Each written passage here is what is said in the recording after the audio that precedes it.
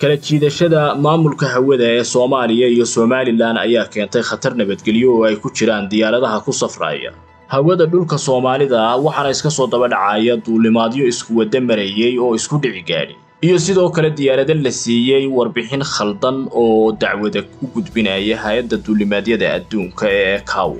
hay'adda maamulka hawada ee soomaaliya ayaa sheegtay inay ku guda jirto tallaabo ay ku soo afjarayso somalilan waxaa jira qorshayaal badan oo isdaba jooga oo hay'adda duulimaadyada ee soomaaliya ay qaaday kuwaasi oo ay ku guuldaraysatay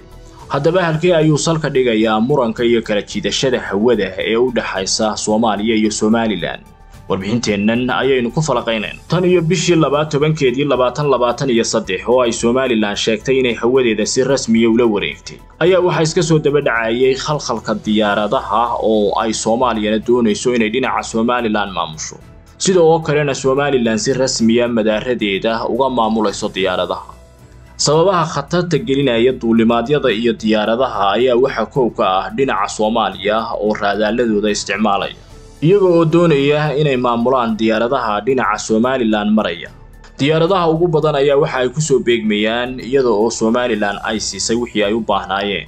Sida oo kalena ay safarkooda si habsamile u sii wataan waana sababta keenaysa khalkhalgelinta diyaaradaha iyo inay khatar ka timaado maamulka hawada ee ay soomaaliya iyo somalilan isku haystaan. Dowladda soomaaliya ayaa tallaabooyin isdaba jooga tan iyo markii ay somalilan la wareegtay hawada qaadaysay. Waxaana koow ka ahaa tallaabooyinka inay diyaaradaha fariimo u kala dirto ugana digto inay la hadlaan raadaallo kale oo aan ahayn kan muqdisho yaalla hase yeeshee arrintaasi laba qodob oo waaweyn ayaa ku noqday caqabad kuwaasi oo uu ka koobaad yahay. Diyaaraduhu waxa ay ku khasban yihiin madaarka ugu dhow xilligaasi ee ay dul marayaan inay la hadlaan. Sidoo kale diyaaradaha ugu badani waxa ay maraan dhinaca somalilan dowladda soomaaliya ayaa waxa ay qaaday tallaabo kale oo ay ku dalbanayso in laga wada hadlo maamulka hawada oo somalilan iyo soomaaliya ay iska hor fadhiistaan. Mar kale waddamo ay jabuuti ka mid tahay ayaana ay soo dhex martay sida ilawareedyo hoose oo warbaahinta xuquugaal heshay ay sheegayaan. Hase yeeshee arrintaasi somalilan ayaa ku gacan saydhay waxaana ay sheegtay in aanay siyaasiyiinta iyo diblomaasiyiinta magaalada muqdisho dib u aaminayn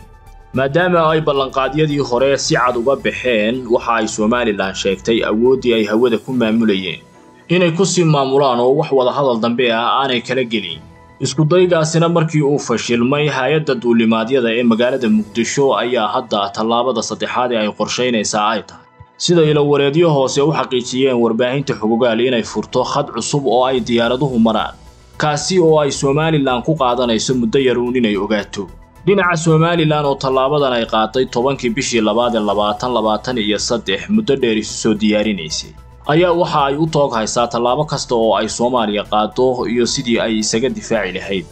Gacantana ugu hayn lahayd maamulka hawadeeda oo aanay u jirteen diyaarad dambe oo la celiya. Xeedheerayaasha duulimaadyada aqoonta dheeraadka ah u leh ayaa waxa ay sheegayaan in hawada soomaaliya ay la wareegi doonto hay'adda duulimaadyada adduunka oo labada dhinac ee haatan maamulka kala jiidanayaba uu gacantooda ka bixi doono taasina waa xalka keliya ee ay hawada dhulka soomaalidu ku noqon karto mid ammaan iyo nabadgelyo ah oo ay diyaaraduhu si caadiya ugu safraan. Taasina waxay keenaysaa in soomaaliya awooddii ay sida khaldan u adeegsanaysay ay meesha ka baxdo. Sida oo kalena si wada jira loo qaybsado dhaqaalaha ka soo baxa diyaaradaha adeegsanaya hawada labada dhinac